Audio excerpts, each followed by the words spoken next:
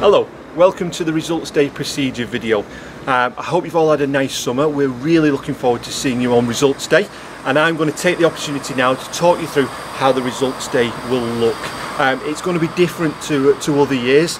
Uh, we have to make sure that you can safely come onto site, collect your results and enrol onto the sixth form. So uh, the results day will start at 8.30 and I asked you to check your letter to see what time your slot is to come into school and collect your results. So over the next few uh, minutes we'll be talking through how we'll collect the results, how you'll enrol into sixth form Uh, and I will talk you through the day. Okay, when you arrive on the college site, we're not going to use our normal entrance. This is the entrance that you're going to use. So when you come down in your car, you can park just in front of me here, or you can come through the gates and park on the left-hand side here. Now we're going to run a one-way system when we come into the, the college, and there'll be lots of staff there to guide you.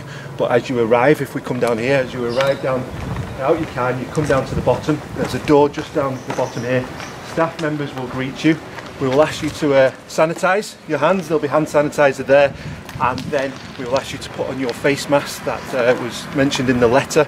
All uh, students and family members to wear a face mask, and then you'll be guided through to the to the next point where you're going to collect your results. So the entrance for when you get out your car is just here on my right there.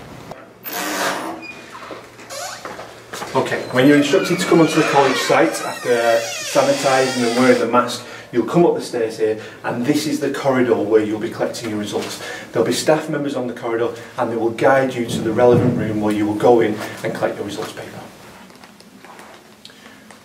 This is an example of one of the rooms that will be used to collect results. So you will come in with your one family member, uh, you will come into the room and then staff will be here behind the desk and they will hand out your results and deal with any concerns you may have or any queries. So this is the room where you will collect your results. Okay, once you've collected your results, you will come out of the room, continue down the one-way system, down the corridor. When you get here, we'll turn left, and we're straight down the corridor here into our sixth form canteen, and this is where students will start to enrol onto the sixth form. As you come into the student canteen, you will collect an enrolment pack off one of the members of staff, uh, and you will walk down here into our Cowley Hall. And as you can see, the hall is already set up, and you will queue and wait for a member of staff to become available where you will sit and sign up to our sixth form.